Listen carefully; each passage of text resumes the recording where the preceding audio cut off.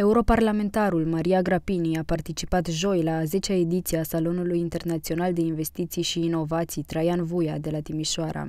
O imagine de țară negativă este primul obstacol și noi, toți cei care înțelegem această situație, trebuie să o combatem, a declarat Maria Grapini. De asemenea, Maria Grapini a precizat faptul că, la următoarele evenimente de acest tip, în sală trebuie să fie prezenți studenți și elevi, pentru că doar împreună putem schimba lucrurile în direcția dorită de fiecare dintre noi. Totodată, eurodeputatul a mai adăugat și faptul că, cu fiecare ocazie, decidenții politici, guvernanții, indiferent de coloratura lor politică, trebuie să fructifice rezultatele cercetărilor oamenilor de știință, lucru care să ne permită să avem o economie puternică, sustenabilă, care să dezvolte România și să asigure o viață mai bună oamenilor. Tema discuțiilor a fost inițierea unui proiect pentru implementarea brevetelor de invenție românești.